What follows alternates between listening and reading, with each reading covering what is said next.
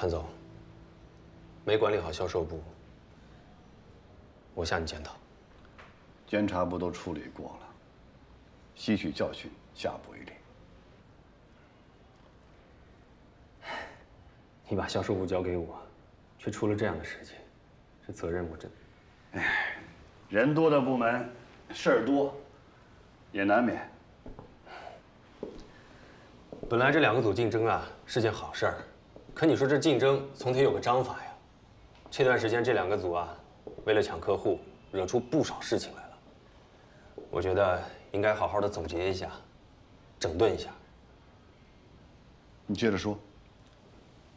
我是这样想的，请客户部配合，把我们力宝所有的客户清理一下，给一组、二组划定自己的区域，让他们在自己的区域内做深耕。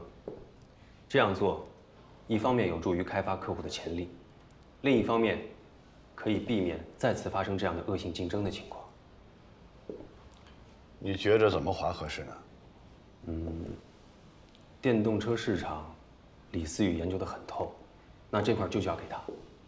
虽说袁慧中也开发了一些优质客户，但为了公司大局，我也建议交给李思雨。袁慧中能同意吗？他的工作我来做。此外，这玩具市场、小家电还有医疗器械，我也建议交给李思雨，因为他对这些行业特别熟悉。同样的客户，别的业务去跟，业绩大概只有两千万。但是他能做出三千万甚至四千万来，这么做对其他销售员不公平吧？可是这样可以最大的限度发挥出别的销售的能力。就比方说袁慧忠，他对政府公关这块特别熟，我们可以把跟政府有关的项目交给他来负责。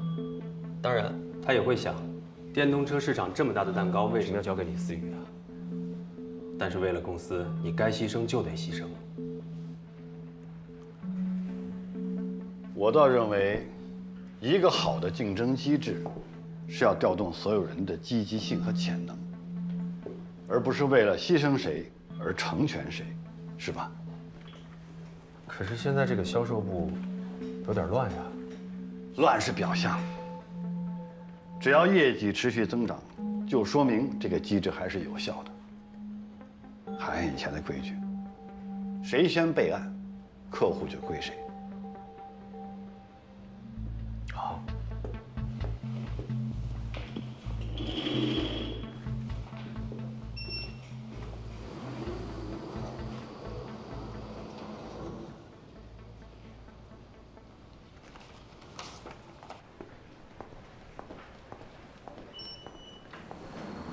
思雨姐。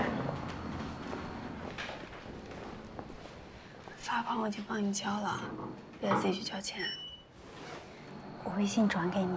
不用了，你那点工资留着给雨月报兴趣班吧。那我怎么谢谢你啊？做了两个好菜，喂喂我。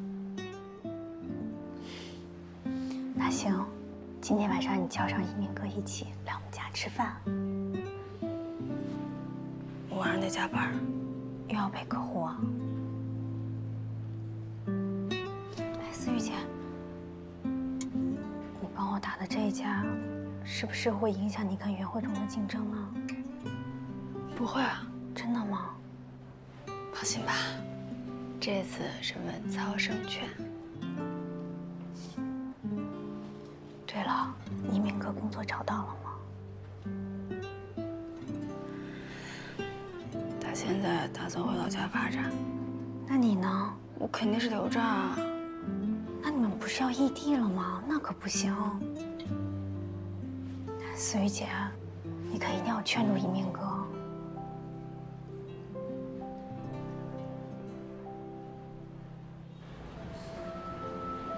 我不想干了。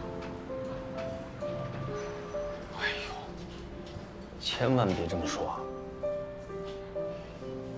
师哥，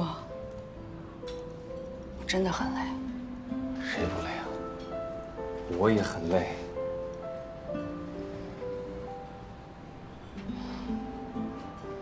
你知道我现在最想干什么吗？首先把我的身体调理好，然后就是每天清清淡淡的吃三顿饭，有时间再陪着我儿子写作业、背单词，再找个男朋友，过规律的生活。这些都能实现的，但是在这个节骨眼上，你不能松懈。李思雨那组人现在就像疯了一样，我真的不想跟他们拼了。为什么不拼？必须拼！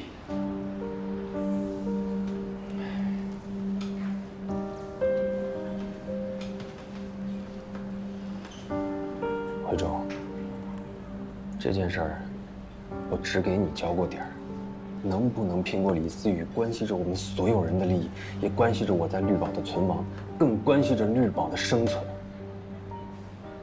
这件事儿，我们聊过很多次。我出不出局，我不在乎，但是我担心绿宝。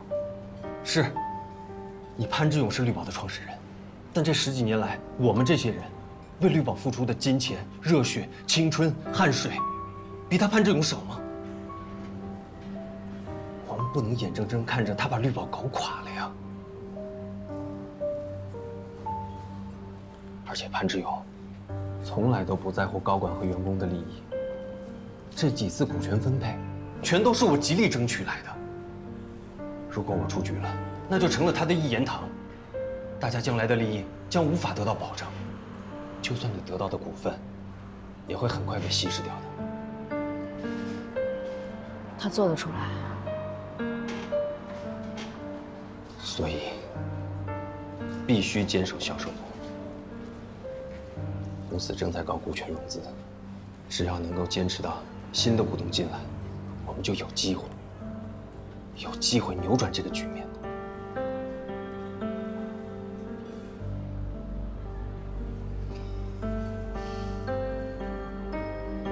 那你让我怎么坚守啊？